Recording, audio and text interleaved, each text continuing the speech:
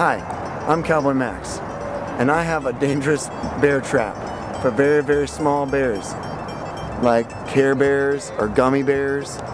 So please do not try this at home or any on any of said bears. It's just cruel, people. However, cruelty to a cowboy is alright because we're tough.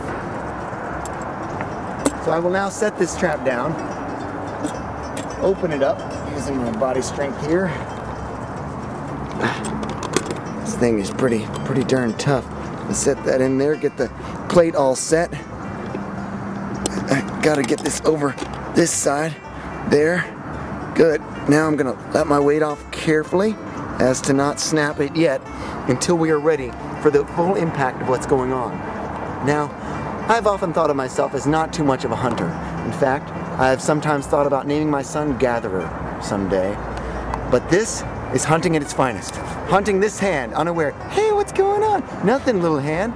Hey, what's down here? Hey, something smells good. What?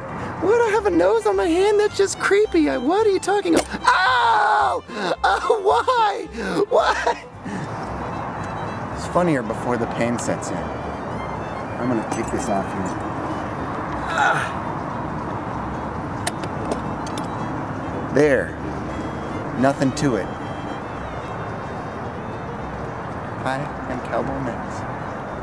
At your service.